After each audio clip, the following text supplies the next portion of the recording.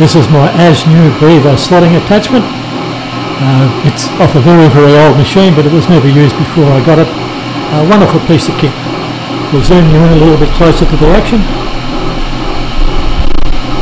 And that's the lowest speed. Very versatile, not a very high capacity. I think it's maximum 75 millimeters of stroke. But I'll get in closer and give you a look.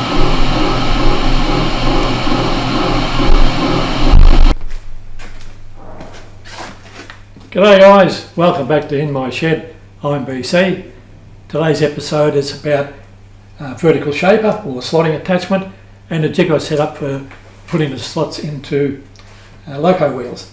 Nice keyway attachment, uh, does accurate work, very cheap on tooling, just half inch high speed steel round and I wouldn't be without it, low cost and it can also do internal gears and splines but that takes a little bit of nutting out. So I'll bring you in closer and show you a few jigs and how I use them.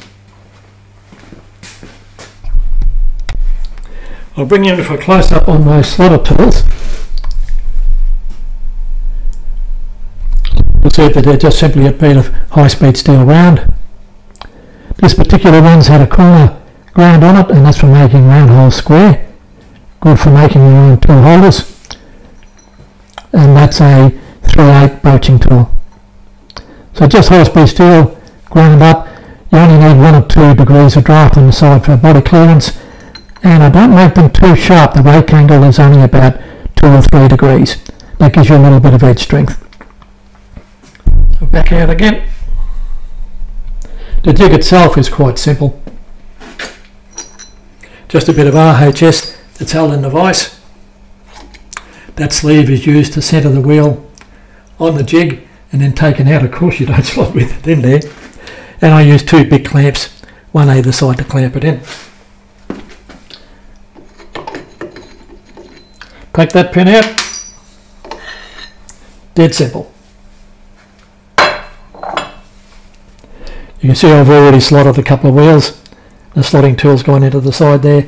Uh, also you can make up different size pins if you've got different wheels to go in there, as long as the spacing is the same, but I could drill another crank pin hole on the other side for a different wheel. This is setting it up for the wheels I'm making for my Sweet William. Now I've got another jig. When I've done the hole for the axle, that's where I drill holes for the crank pin and they're the pilot holes for the two lightning holes. I just put pins in there to lock it in place and you can accurately put the crank pin hole in the wheel. So you get the same spacing on all of them. Quite easy to make, uh, versatile for many different sizes and it saves you a lot of time setting up. Now I'll try and get you in on the tool center slotter.